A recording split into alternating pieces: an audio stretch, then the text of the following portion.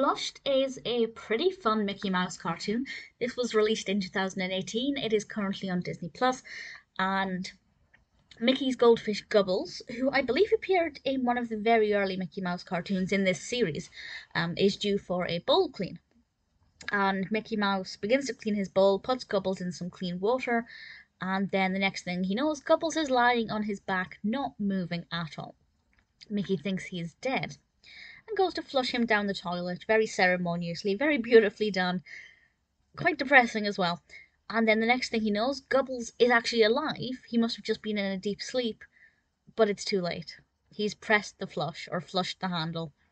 And what follows is Mickey and Gubbles going through the pipes and the sewers and all of the waterworks to try and rescue the fish and also get back home as well.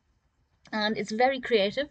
I really like how they've animated kind of the sewers and, and the pipe systems. It looks very, I'm going to say fun. I don't know if fun is the right word, but it's very engaging. I liked it. It kind of caught my attention.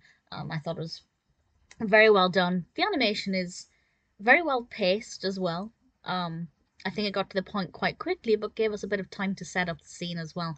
Bearing in mind the whole thing is maybe, what, three or four minutes? It's not very long at all.